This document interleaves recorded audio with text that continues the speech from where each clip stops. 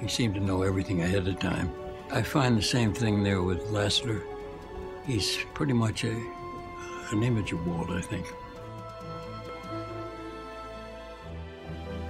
When planning a new picture, we don't think of grown-ups and we don't think of children, but just of that fine, clean, unspoiled spot down deep in every one of us that maybe the world has made us forget and that maybe our pictures can help recall.